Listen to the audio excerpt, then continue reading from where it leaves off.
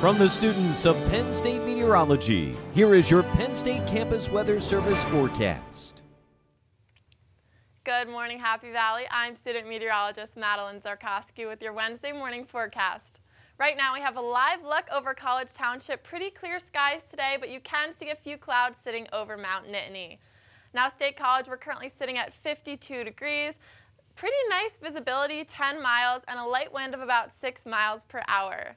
Now as we take a look at our low temperatures so far today, the majority of the state woke up with pretty warm temperatures for a morning in November, which is really nice.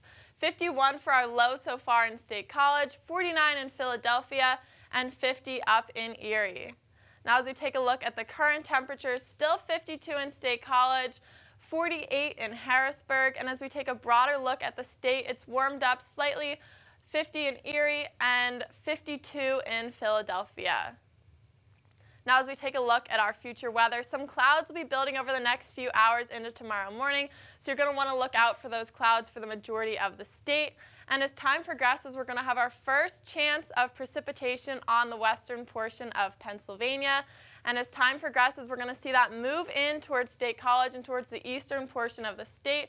So you'll see a lot of that precipitation over in Scranton and Allentown. Now by Friday, that rain will make its way out of State College, but as you can see, that temperature is dropping. So when you wake up in the morning on Friday, that rain will have passed, but you're going to wake up with a pretty cool and dry morning. Now, as that rain makes its way out of State College, it's going to make another appearance on Saturday evening. Now, as you take a look at that, there is a chance for some snow, so we will see a little bit of a snow and rain mix on Saturday.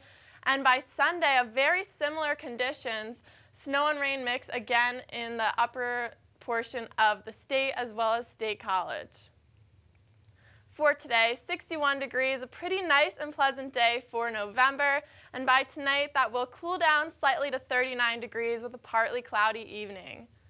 And for tomorrow, still unseasonably warm, overcast, and there is going to be rain in the evening hours of tomorrow. Now taking a look at our seven-day forecast, partly cloudy today, overcast, like I said, with that rain tomorrow evening, but that rain will end early for Friday, so we'll have a pretty nice day on Friday. But that rain will make its way in again on Saturday, so we're going to have a big cool down for the weekend. And that rain and snow making its way in for the weekend, so you're going to want to look out for those snow showers if you like the cool weather. But it'll clear up by Tuesday, so you can enjoy the day on Tuesday. From the Penn State Campus Weather Service, I'm Madeline Zarkoski. Have a wonderful day.